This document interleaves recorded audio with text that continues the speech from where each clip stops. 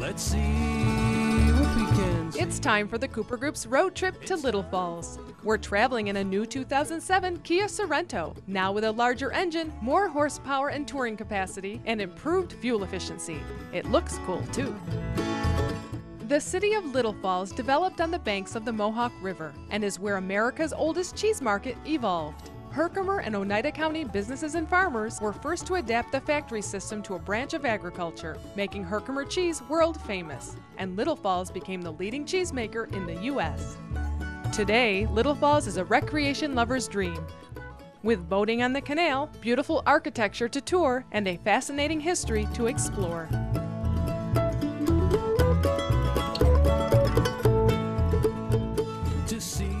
Visit the Little Falls Museum, located in what was the first bank in Herkimer County, and now home to the Little Falls Historical Society. See what we can see. It's time for the Cooper Group's. While you're in Little Falls, make time to find the Little Falls Historical Society and Museum. You can spend hours here because it is just filled with history. You- It's like you're living it when you walk through those two front doors of what used to be a beautiful bank. The things you're going to find in here are so fascinating. The original land grant from 1755 from King George II is hanging on the wall. When you're looking at it, be sure to ask one of the volunteers about the holes in the, the land grant. Check out the cheese exhibit because the fact of the matter is that Little Falls was the cheese capital of the United States. As a matter of fact, when President Andrew Jackson was inaugurated, they shipped 16,000 pounds of cheese from Little Falls to Washington.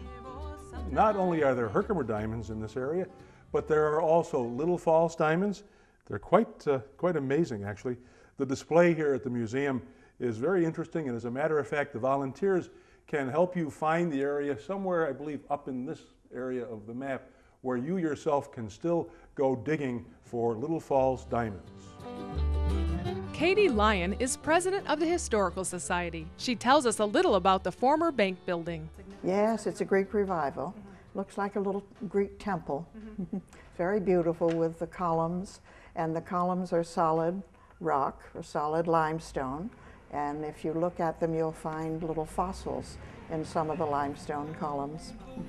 Well, we're really the, the savior of all the old history of the community. And people use it for lots of genealogical research as well as uh, giving us items that they can't, they would love to save but don't have room for anymore. Katie and other volunteers can help you plan your walking tour. Give them a call or pick up a copy of the neat little guidebook at one of the many shops in town or at the museum, which opens for the season May 29th.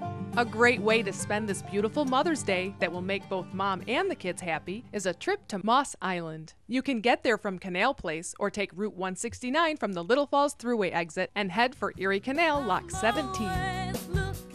Here you can see an old abandoned canal or take a walk along the canal trail.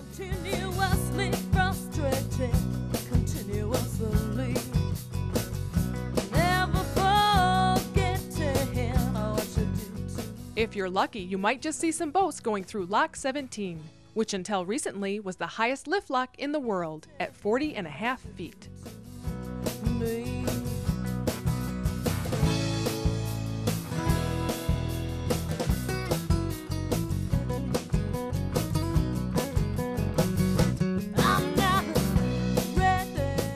But for some geological fun, cross over Lock 17 to explore Moss Island. This 14 acre natural wonder is home to a variety of mosses. But the main attraction is the towering rock forms and deeply carved potholes sculpted about 10,000 years ago by a raging river called the Iromohawk. Spend some time exploring some of the views from the island and seek out the potholes along the northern shore. Some potholes are as large as 15 feet in diameter and 30 feet deep, and make for some great pictures and memories of Mother's Day.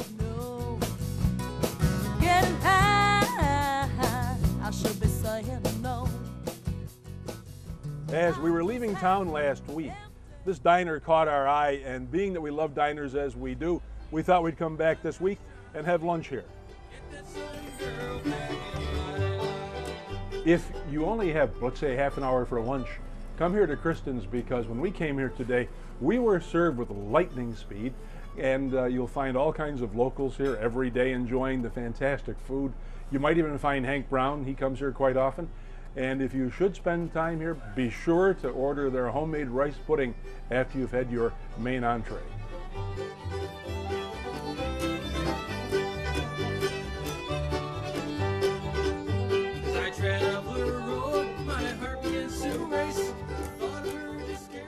There's another island here in Little Falls. It's called Hanson Island. This island houses a business that is very important to the community, and uh, I'd never been inside it before. We're going to be going in there in a minute. I'm going to be uh, wearing another hairnet, so it's another hairnet visit. It's Salada and Red Rose tea. For those of you who are sipping tea right now, whether it be hot tea or iced tea, the chances are that it came right from here because uh, the chances are you're drinking either Salada or Red Rose, and the only place in the country that manufactures those is right here in Little Falls. How many bags of tea leave here a day? Four million. That's a lot of tea. Stay tuned until the end of our tour because we have a special giveaway this morning, and uh, it's a tease, but it isn't tea.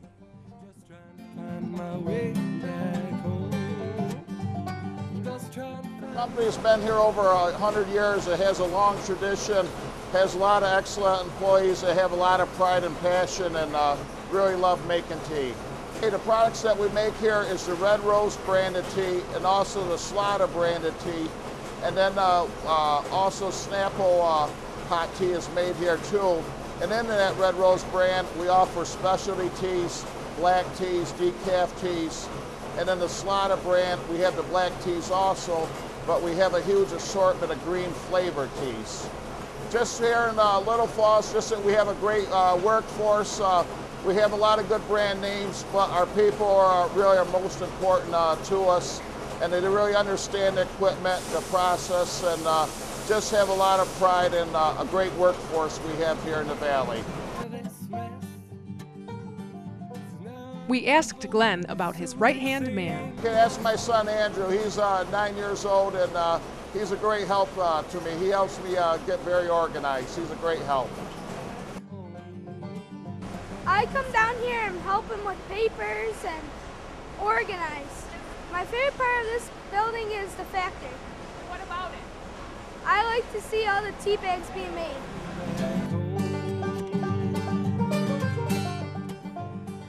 There are a couple of memories that I have when it comes to uh, Red Rose tea. One, of course, is opening the box and, oh, that marvelous fragrance. And then there's this Red Rose uh, tradition that's been going on for quite a few years. Inside every Red Rose tea box is a, a figurine. And I think that my aunt must have collected all of them. Uh, I remember having this one. This one is from the endangered species, which is a bald eagle, which is kind of appropriate for the Mohawk Valley. For the Enders family, whenever the uh, term special occasion is used, it means one thing. It means the Canal Side Inn here in Little Falls. We have been coming here since it opened, and uh, it is beyond a shadow of a doubt our place to celebrate anything special. And as a matter of fact, uh, the owner will be celebrating his 25th anniversary on May 19th of this year. It's been here for 25 years. We've been coming here that long. We're fortunate to be able to have this kind of a dining experience in the Mohawk Valley. If you come here today, and by the way, there are still a few reservations available for Mother's Day, uh, be sure to top off your meal with a dessert that is out of this world. It's Bananas Foster, and wow, is it ever great! Traveling round the Mohawk Valley. Let's see what we can see.